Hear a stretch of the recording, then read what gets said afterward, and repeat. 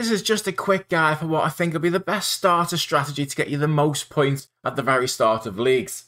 Now this gets you 75 easy tasks and 7 medium tasks for a total of 1030 points in only what I expect to be about an hour, plus there's another 4 or 5 tasks that you may get depending on RNG.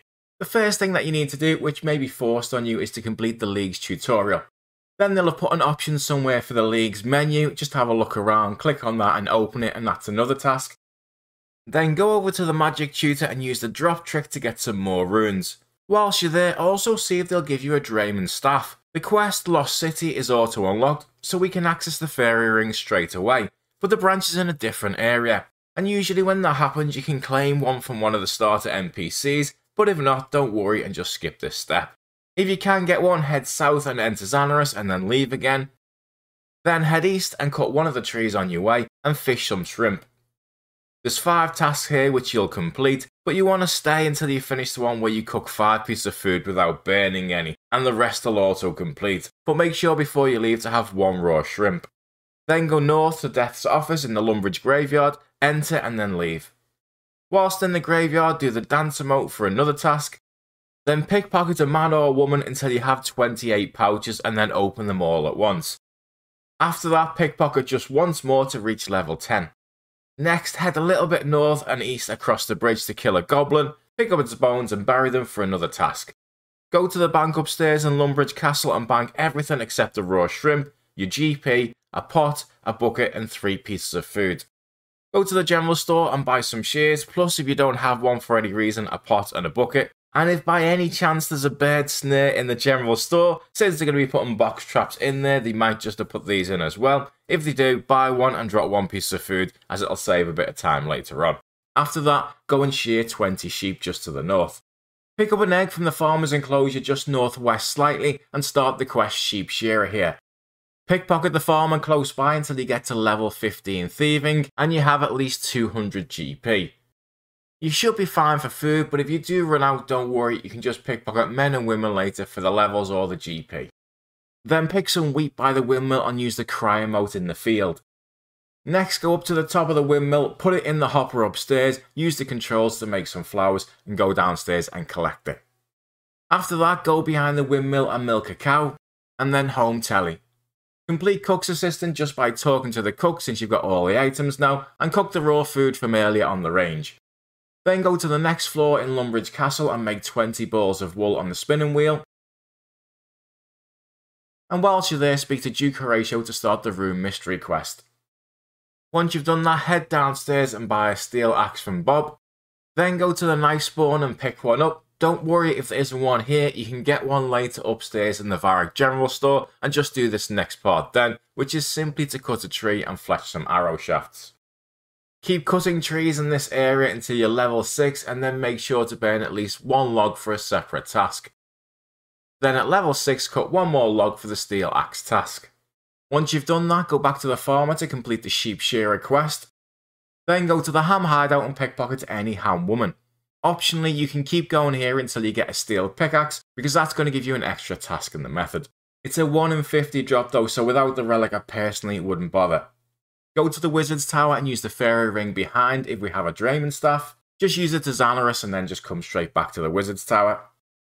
Go into the basement and speak to the Wizard for the next part of the Rune Mystery quest, and once you have that, come back out of the basement and head north towards Draynor. On your way, you might as well pick up a Wear Forestry pack, as there's a few forestry tasks that you can get lucky with.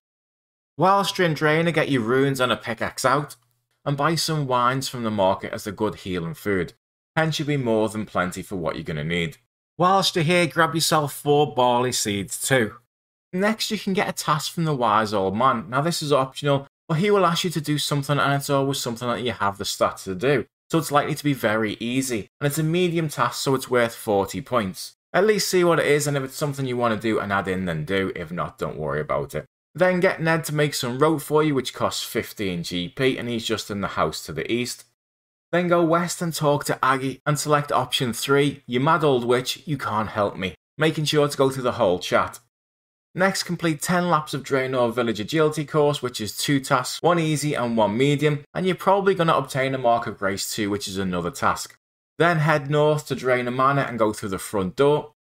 Go upstairs and walk around, and one of the chairs should follow you for another task. Go north after that to the Barbarian Village, and then down into the Stronghold of Security. Maze the level 5 goblins just to get a few HP levels, and while you're doing it, you might as well bury the bones to get yourself 5 prayer. Then go through the Stronghold of Security and get 10,000 GP, as well as the boots if you're comfortable doing so, which is on the 4th floor, because it's a task to wear them. Leave the Stronghold and then mine 10 ore. Go to the southeast after you've done that and mine another 10 copper, which is one easy task or two if you manage to get the steel pickaxe. After that, head west of Varrock and smelt your ores into bronze bars. If you have a bird snare, take it out of the bank now, but if not, go through the Soul Wars portal onto the Isle of Souls and go all the way to the north to get yourself a bird snare, then catch a Crimson Swift in the south. If you have a bird snare already, obviously you just go to the south, and it's a lot less time used. After that, I think, and I could be wrong, that you can trade a Slayer Master even if you don't have the combat level to get a Slayer task from it. Now, we won't have the combat level, but I think you can trade it, and please put in the comments if I'm wrong and I'll pin it. But if you can, go buy a gem and a spiny helmet from the Edgeville Slayer Master. Use the gem to contact the Slayer Master and wear the spiny helmet to complete two more tasks. Head over to Varrock and on your way activate any prayers just to drain them and take out your hammer from the bank and a slash weapon and make some bronze arrowheads in Varrock, but then a bronze full helm when you get to level 7 which is a task. Whilst you're in the area, pet a stray dog wherever you see it, can be absolutely anywhere in Varrock, but it normally finds you before you find it. Then take out your axe, tinderbox, rake, and seeds. Head towards the centre and buy a fire staff from the shop and equip it. Go to the rune shop for the next step in Rune Mysteries, and also buy 150 mind runes and 300 air runes whilst you're there. Then go to the altar just southeast a little bit and pray to get your prayer points back and complete another task, before heading north slightly to steal a cup of tea. After you have that, safe spot a guard from the other side of some of these rocks. Keep maging the guards on defensive casting until you reach level 10 defense, and you can now equip your spiny helmet from before. Then head west slightly to the armor shop and buy yourself a black plate body and a steel plate body. Equip them both and then sell them back to the shop. Once you've done that, go upstairs in the church to the north and give Elsie a cup of tea and she will tell you a story. Next, go to the estate agent and buy a house for 1000 GP. Then go down into the sewers and head towards the Moss Giants. Slashing one of the webs on the way is one task, and then you can safe spot a Moss Giant for another. Head back out and complete the natural history quiz in the museum. After that, go over to the sawmill and cut a log along the way, and then pay the sawmill to turn it into a plank. Head southeast and take the boat to Fossil Island, and once you're there, pet the dog in the museum camp. Next, take the boat back to the dig site, and in the southeast, you can pan for an uncut jade. Once you have it, head back out west to the south side of Varrock and kill one of the dark wizards. Just be a little bit careful, we're still fairly low level to pick one of the lower level ones. Then chop trees just to the south where it's safe and get yourself 15 woodcutting and 15 fire making. Then just slightly south is a hops patch so speak to the farmer there to get the rest of your farming supplies that you need, as well as three compost. Then plant your hops in the patch there and pay them to look after them, which he charges three compost for. Head a little bit further southeast and chop the oak tree in the potato field. Once you have those logs, burn them for three tasks in one. After that, go over to the Wizard's Tower and complete the Rune Mysteries quest. Once you've done that, select the option to locate on the Air Talisman for a task and then teleport to the Essence Mine via the wizard and then back out for another one. Kill a lesser demon upstairs. This is an easy and a medium task, but a lot of the time there's a huge queue to kill it. But people generally do wait in line, and it is worth doing. It's just a little bit annoying. And after you've done that, teleport over to Karamja. Now, I don't know how this is going to be done yet. It may be with lodestones again. We'll have to wait and see. But I'm pretty sure last time it was in this area here. But either way, we need to go over to the banana plantation anyway, so head to the charter ship over this side. Once there, buy anything at all from the charter ship. You can pick a tinderbox if yours is in the bank, because we will need one later. And then talk to the guy here to fill up a crate of bananas. After that, head into the volcano and go to the TzHaar area and safe spot any of the high levels in here. If you haven't done it before, there's an easy one right by the bank. Go back over to the Brimhaven agility area and I've put this part in, but feel free to skip it if you don't want to. And you just need to get one ticket, but our agility will be fairly low. You can also get 10 tickets if you want to buy a Snapdragon, which is a medium task and worth 40 points, but I haven't included it because I think that would be horrible at this level.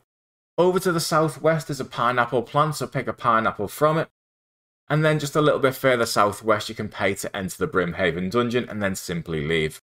Go to the general store in the south and buy a torch and light it for another task, which gives you 75 easy tasks and 7 medium tasks, without doing any of the long ones. I've ticked off the list for everything that's in the guide, so everything that's highlighted here is in the guide, and anything that isn't is not in the guide. So if you want to tweak the setup, you can do and add in a few more tasks.